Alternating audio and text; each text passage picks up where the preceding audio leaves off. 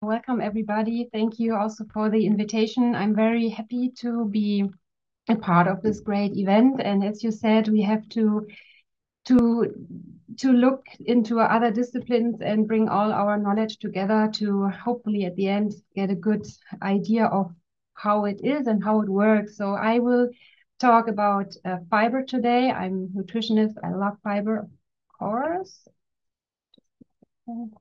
Okay, now it works. Everything I say is my personal opinion. Um, and my goal today is to show you the relevant fibers you can use in your daily practice, how to use them, which um, patients would be ideal for using them.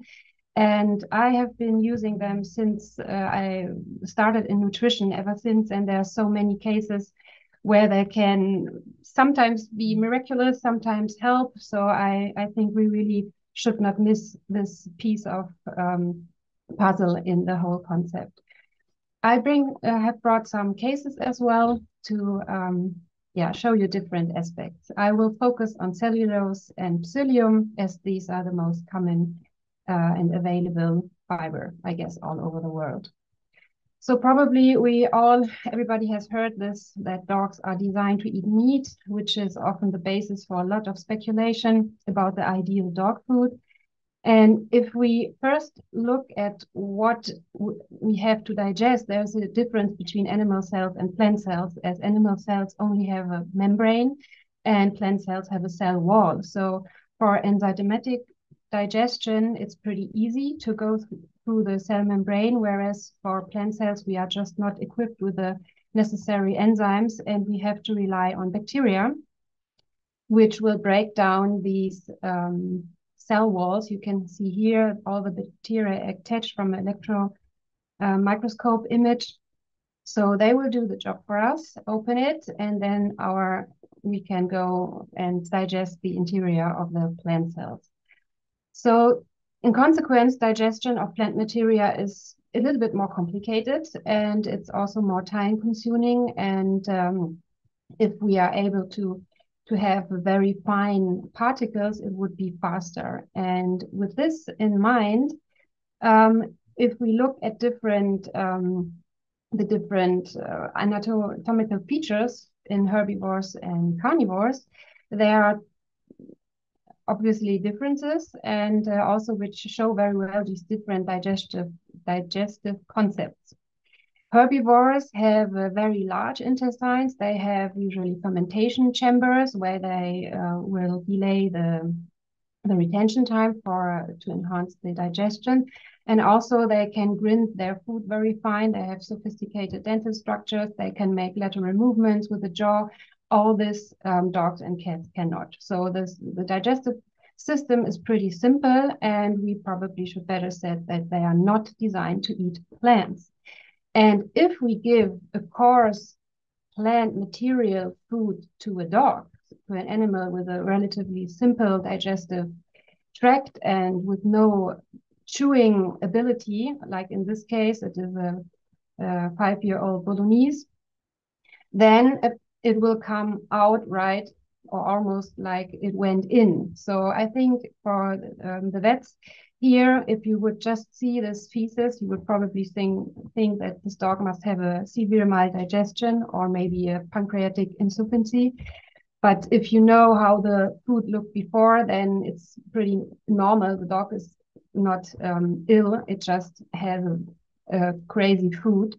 And one interesting um, thing about this case was also that the owner actually milled the food in the coffee mill before grinded it in the coffee mill before um, giving it to him to see what happens. And you can see that only by doing this, it already enhances the digestibility. So particle size and um, retention time matters for every species.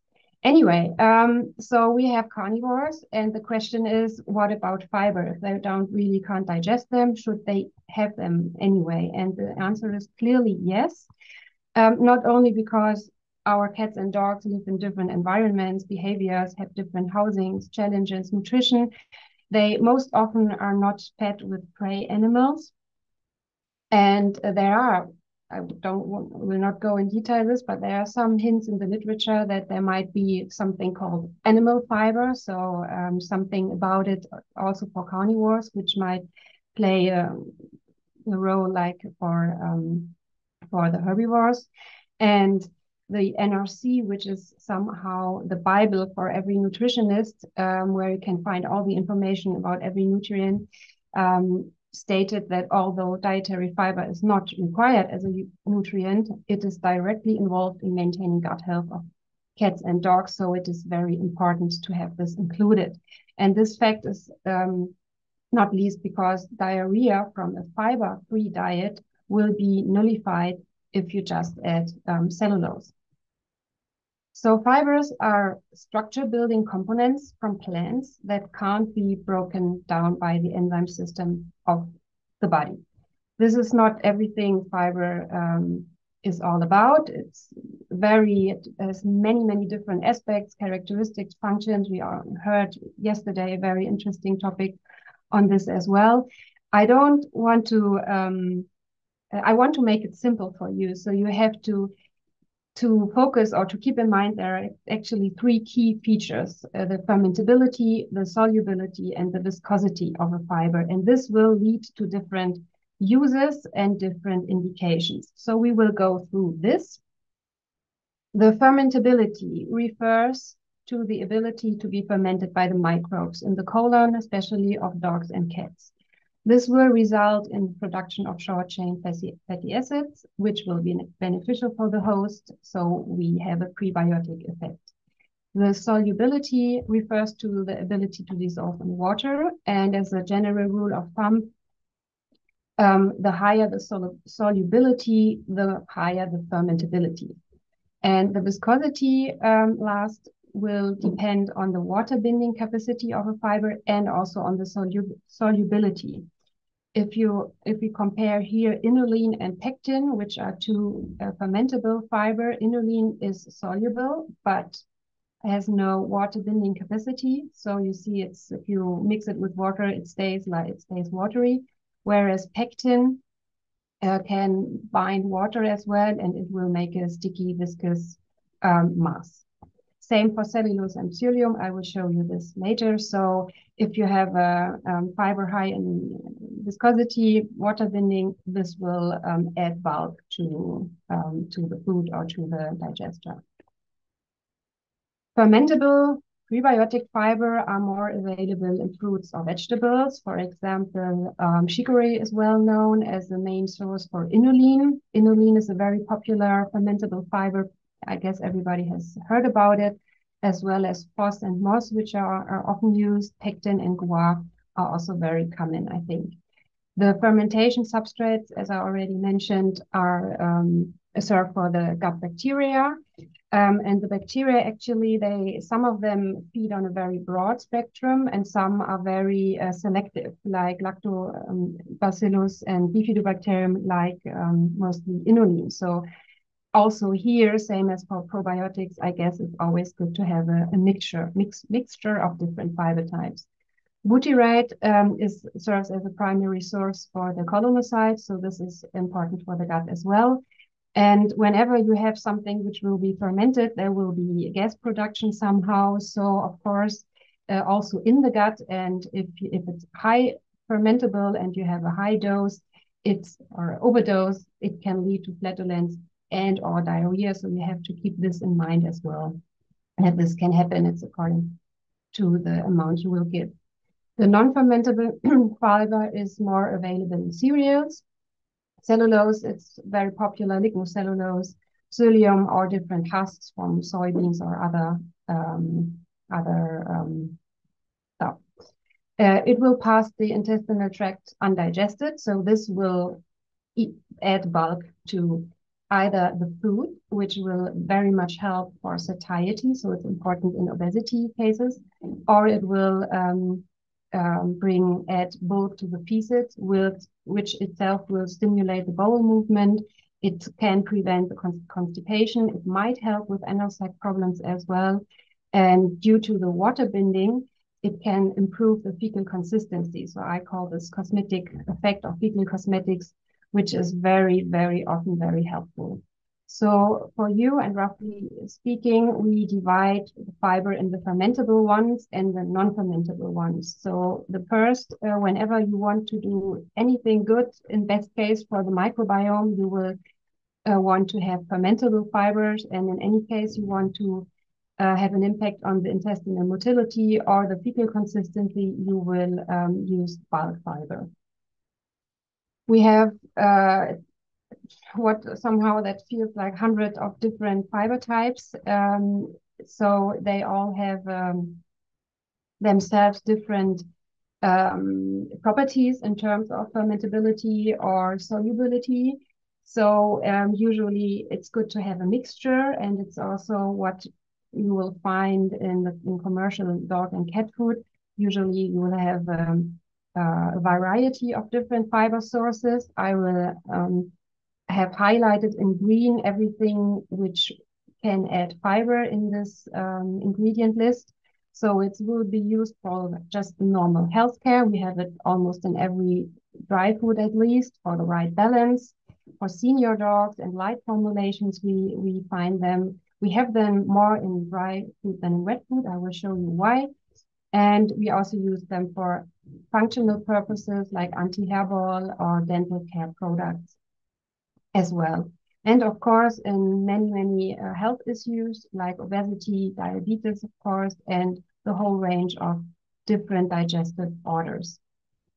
So I already mentioned there are differences between um, kibble and wet food.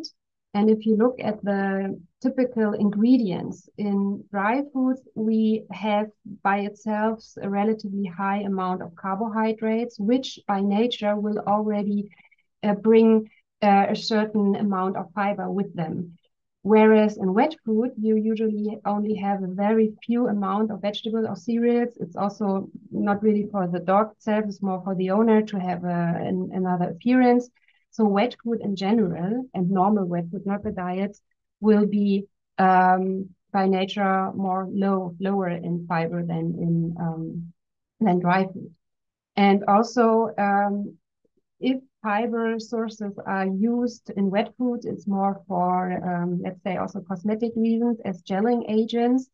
Um, guar gums and pectin um, is often used for this.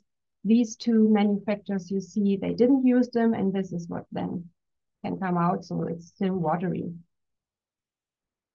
Um, here's to show you uh, guar and pectin in detail, which, as I said, is uh, used in, in um, in wet foods. It is very uh, highly fermentable. Um, here again, the video of pectin. And if you, um, yeah, if you touch it, it's really sticky. So it's it can have side effects like flatulence and softer stools, and the acceptance, to my experience, is not very high due to the stickiness, especially in dogs which have beards or cats. They don't really like it. Guar is is really, really, really sticky. Um, I didn't even steer it pretty well. You can still see it, but it's very, um, it has a high viscosity. So um, I guess you could have brought even more water. Each is 20 gram of powder and uh, steered with 200 milliliter of water. So you can see the difference by different fiber types. To uh, give you an idea of typical fiber contents in normal food, we have on a dry matter base for um, healthy animals, we want to have around 1 to 2%. Senior diets will be usually a bit higher, up to 5%, and the calorie restricted diets will usually be above 10% on a dry matter basis. And this uh, can matter actually, and I will show you the second case. It's a mixed breed male, castrated, uh, almost nine kilos, six years old, and he's a suffers he has a food intolerance or an allergy with cutaneous and intestinal symptoms. He is uh, on an insect-based wet diet, which he tolerates very, very well.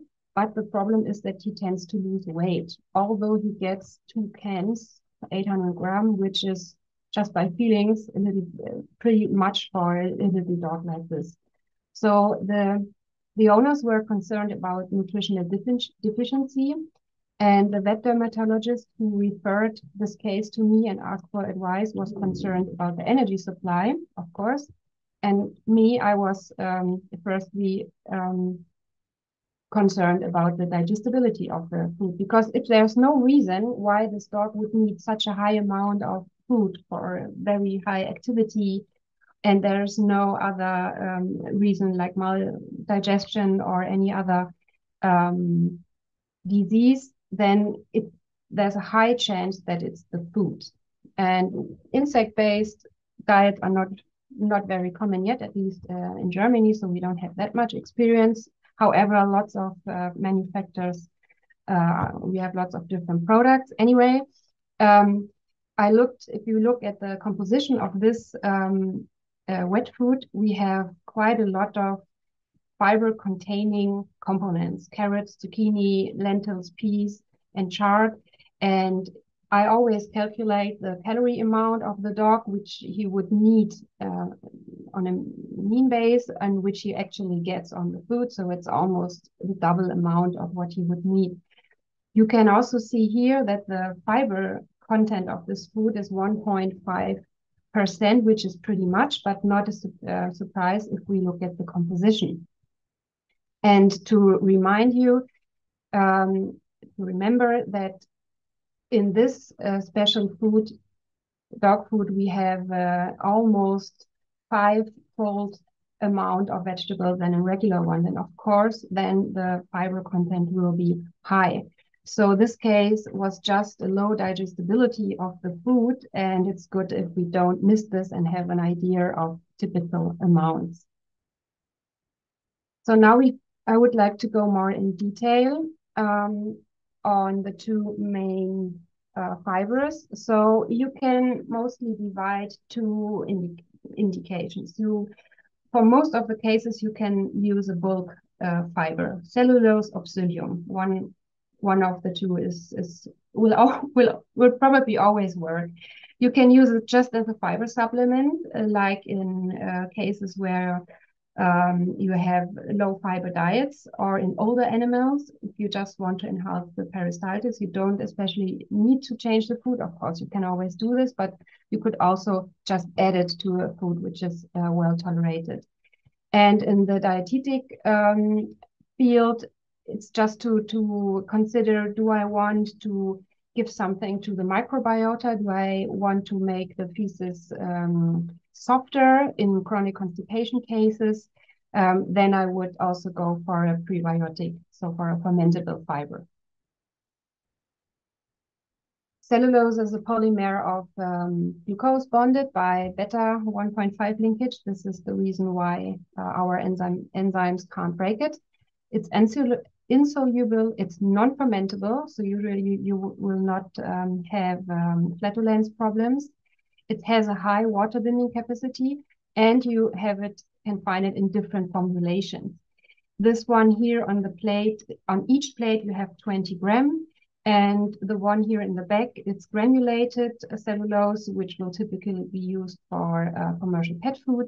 This one here in front is a granulated uh, lignocellulose, and this is a powder cellulose, and the one I mostly use in my patients. And you see it's pretty dusty, but um, yeah, otherwise. And we also have different fiber lengths of cellulose, and there's a nice study uh, performed already 20 years ago in Munich um, on different fiber lengths in beagle dogs. They the dogs were on a regular um, diet with uh, cooked grapes, cooked cornstarch, sunflower oil, and uh, mineral vitamin supplement. And in total, they get three different, uh, six, sorry, different formulations of uh, fiber lengths to the diet. And the lighter bars um, represent liquid or soft feces, and the um, darker bars, the well-formed one. And there are two things we can conclude from the study. The first, apparently, different fiber um, effects on different fiber have, has different effects on the feces. With everything above 200 micrometer, uh, seems to work very well. And the second one is that none of the control group here had um, had well-formed feces. So again, fiber-free diets will have a bad fecal consistency. Um, you can overdose it as well. On the left, this is the picture from the study. Um, it's an old picture, way before. Oops. Um, and on the right, it's overdosage. Personally, I never had this in in all my years of uh, nutritional practice to have an overdose, but just to mention to always go slow with this. Um, in terms of overdosing, I had a funny case with a cat owner who sent me this um, pictures. So he bought our cellulose and uh, accidentally gave the cat the whole amount uh, in once. And the next day it was vomiting this weird stuff. He thought it was might be worms, but as the cat was um, just dewormed a couple of weeks ago, he said, "Oh, maybe it's the cellulose." Anyway, it was uh, it was worms. Maybe the cellulose just added to bring out what had to be brought out. But this is a nice transition to one uh, major uh, advantage of cellulose, um, the high acceptance in especially cats, but also dogs. It tastes like nothing. It's it's odorless. The only thing it's dusty, but it doesn't have any other disadvantage. And more, moreover, as it's a as it is a purified um, fiber, it has no nutritional value, like uh, contrast to husks, where which you will always have a certain amount of phosphorus. So especially in older patients where you might not always want to add phosphorus to the diet, cellulose is a very good um, fiber. The dosage is very simple. It's uh, 1.5 to 1 gram per kilogram body weight per day according to the desired effect. So you can just start slowly and then go further as high as you as depends on what you want. If you want to have a satiety effect, you will probably go very high. If you just want a fecal cosmetic effect, you don't need to go that high. The tolerance is individual, so we have to um, look for the patients at the beginning or to tell the owners increase it always slowly. That's always a good thing with every fiber to, to do it, especially if the dog is not used to it. It's the same for humans, if you ever have tried this. Um, it's important also to mention that it has to be divided into the daily portions. You can mix it in wet food or steer it with water, broth, anything you want. And um, yeah, the fiber length above 200 micrometer would be good. So we have two main indications. Fecal cosmetics is one of the most important. And for the owners, the um, consistency and the volume is almost the only true indicator of intestinal intestinal health and also of food quality. So it's important and we have to consider this. Um, the symptomatic effect is due to the water binding. It's uh, very effective. It's very immediate as well. Um, it mitigates the problem for the animal and the owner, as the dog will um, it will be easier for the dog to to to hold the pieces and for the owner to remove them. So the ideal perfect uh, would be the stress uh, colitis patient, for example. Dietary supplement for low fiber diets would also be very good. regular wet food. I have a example also here from my practice, very old case, almost um, was in 2015, so it's seven years ago. Ago, it was a, a, a small 55 kilo St. Bernard's mixed breed, Lotte, very cute one, one and a half year, and um, she had a food allergy and was on a homemade diet of venison meat, cooked potatoes, oil, and the vitamin mineral mixtures with this, she did really well. Um, her symptoms, mo mostly uh, gastrointestinal symptoms, improved to, let's say, 80%, but she still had some remaining symptoms like mucoid feces, sour smelling, irregular defecation frequency, and frequent grass eating. So um, of course, it could be maybe an, still an allergic component, but if we look at the fiber content and fresh meat as well as cooked potatoes, there's not really much fiber in. So calculated amount would be about 0.7 percent of dry matter. And remember, we, we want something about one and two. So we can consider that this is pretty low. And just by adding 20 gram for this huge dog, which is about four to five tablespoons, um, it improved um, very nicely. The the defecation frequency, you could uh, set the clock. Um, the owner told me there were no more grass eating, no more mucky pieces. The smell was better and um, the defecation time was very regular. So also very nice case, very easy to solve. Don't need to change the diet, just to need to, to know about this. Constipation is also something something where you can use it. Uh, of course, um, if there's still motility in the gut, it might be better for cats um, due to the higher acceptance than psyllium. So just try it out. Second indication is overweight. I don't want to go too much in detail to this, but the half of the of the and, uh, dogs and cats are overweight. So we can also use this in these in a lot of cases. Um, it will um, make an energy dilution, reduce the digestibility, stimulates the intestinal motility, and due to the higher food volume, you will have a satiety effect, especially in cats, but also in, in dogs and in the owners uh, as well. So the other very important fiber, and I guess most of you probably have uh, uh, used this um, maybe a couple of times. Um, it's more common also in the studies. You find psyllium more often, at least to my um, impression. So it's a plantain species from India.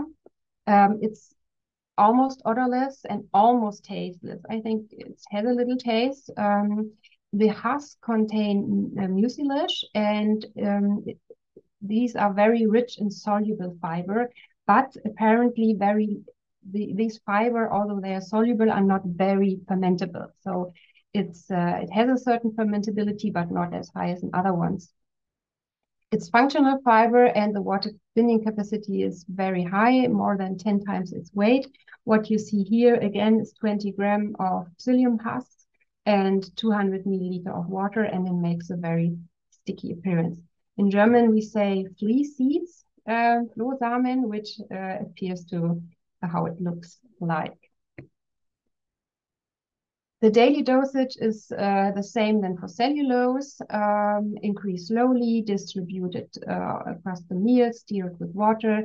Uh, it's important to leave it well for a sufficient long time as this uh, in difference to cellulose as well. Um, milled husk, I like to use them will swell uh, much quicker.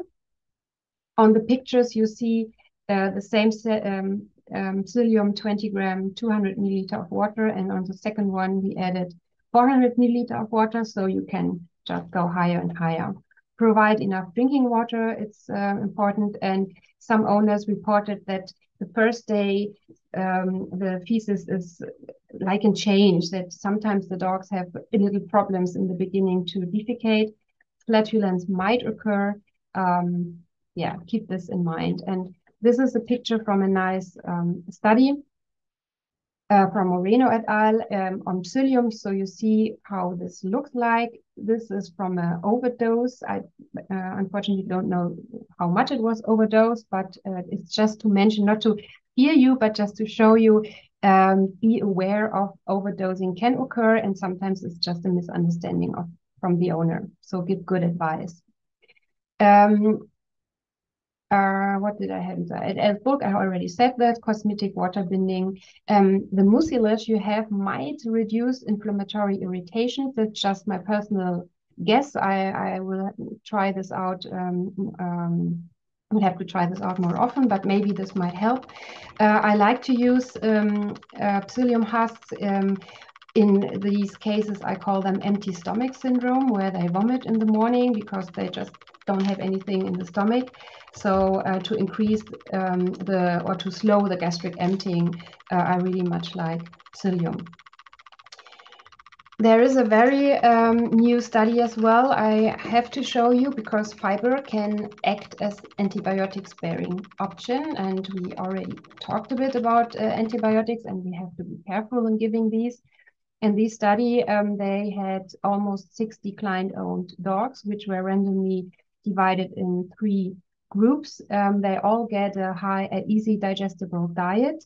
Um, the first group got a placebo, the second group got metronidazole, and the third group got also the placebo and on top a fiber enriched easy digestible diet. And if you see the remission time here, just by looking at it, um, you see that the, the diet is um, better than the one with the metronidazole. There's no advantage. And the, the, quickest you had in just the fiber enhanced diet. So this is really, really important that we that we start using this. I would like to show you difference um, between psyllium and cellulose. Um, if you steer it, just to give you an idea of, of the consistency, when you have it in the food, you will have the same consistency in the gut as well, because if you try to squeeze it, there's no water coming out. It's really bound. So there's nothing to do about it. Whereas in cellulose, it's more um, like paper um, slush. Uh, and if you squeeze this, you can see that you can still, um, that the water is somehow still available. So in terms of feces consistency, typically um, you might have this rubbery appearance with psyllium and this dry um, appearance on um, cellulose. So my to finish, uh, my last patient is Anton. It's a very nice um, case. Uh, he was from a veterinarian colleague also four years ago. Uh, it's a young poodle, male, um, a little bit more than 20 kilo, and he has um, digestive problems since puppy age. He always had um, very soft, sticky cow patty foul smelling uh, feces like you see here on the picture.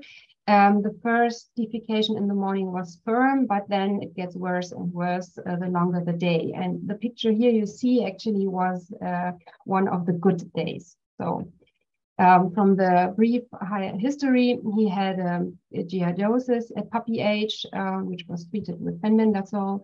Um, he had a supposed dysbiosis, but we only had this diagnosis on uh, fecal bacteria culture um, results. So unfortunately, we didn't have the dysbiosis index at that time. It would have been very interesting. Um, he had various food changes without any success. What worked best was uh, giving him fresh meat with cooked potatoes or cooked rice. And currently he's getting three meals per day with a mixture of uh, 250 grams of kibbles and uh, one um, wet, uh, one can of wet food. Uh, he gets quite a lot of different treats, actually uh, almost 100 gram per day. And finally, the owner wasn't really aware of that. She only uh, noticed this when she was filling out my my um, my questionnaire, my formula. And uh, the reason why Anton gets these high amount of treats was because of what he was a very picky eater. Like to my experience, almost every poodle, no matter if it's a great one or a small one. Um, and so this is the what we have, and we have to think about could he have a food allergy or could he have a food intolerance? Of course, he can also have something else, but uh, me as a nutritionist, I will try to sort this out, which would be more likely. A food allergy for me seems pretty unlikely. There were no differences on any of the elimination diet the owner did. And as the owner is a vet, I can assume a very high compliance. So um, I don't think it's that. Food intolerance is much more likely, especially if um, we consider that on one side he has quite a lot of treats. He also had quite a lot um, of protein in his diet, almost the double amount of his requirement.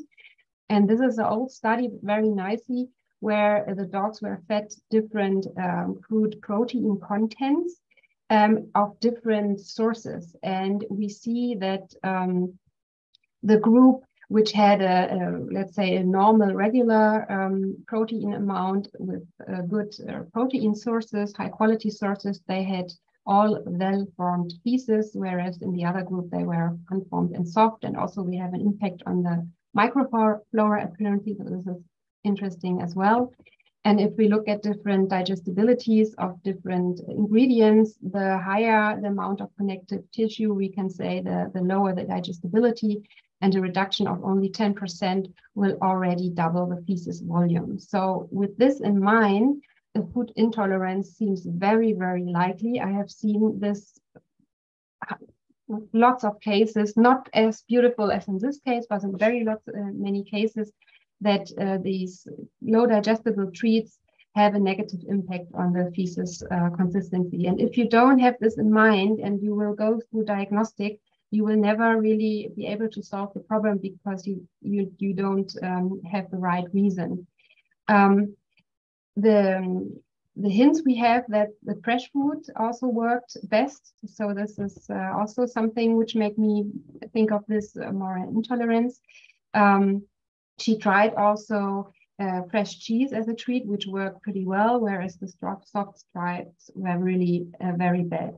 So my only and first feeding instruction for the owner was to give him any more chews like rawhides and all this kind of stuff. She could give treats, but I said just give her give him anything from the fridge, and so human um, food like the cheese, and that was the first advice. After two weeks, she sent me this picture, and she was really amazed after years of this um, horror she she went through that um, he never had a, um, a bad fecal consistency anymore. He only defecated once uh, a day, and this is still after four, year, four years um, the case. So to conclude, um, digestibility is crucial for different patients. You have to keep this in mind, please. Check the diet of your patients, especially before you go on um, expensive diagnostics if it's the diet, uh, probably it will um, respond very quickly. So if you have some time to to wait, um, if it's not so ur urgent patient, give it a chance. Um, same for fibers; they are really must-haves. Uh, every GI patient should have fibers. Uh, if you consider antibiotics, think of fiber first, maybe, or a diet. Um, we have positive effect, as I showed you from the study, uh, within a couple of days. So this is nice for spondylitis patients. And um, the fiber type, just give it according to the symptoms or the desired effects you want to have. If you want a cosmetic effect, try cellulose. This would be my first choice. Or if you uh, cellulose not available, try um, psyllium. If you want to support the intestinal flora, a mixture would be good with inulin or something like that, cosmos, whatever. Maybe psyllium we are not, it's not very clear if, um, if it's uh, fermentable uh, or how much it is fermentable. If you have mucosal damage, you might uh, want to try psyllium. Um, if you want to delay the gastric emptying or enhance the satiety, psyllium and cellulose would be very uh, great. General dosage, again, very easy, roundabout, smaller amounts for every GI patient. It has to be in every diet for every animal and any species. Um, and the higher amounts you can try to um, in colitis patients or fiber responsive diarrhea, constipation, some of them. So just try it out. It's always about the balance in nutrition. And um, yeah, I hope I I yeah could show you some practical um, facts about fiber. Use it, take it from tomorrow on. I'm happy to take questions, and I thank you for your attention.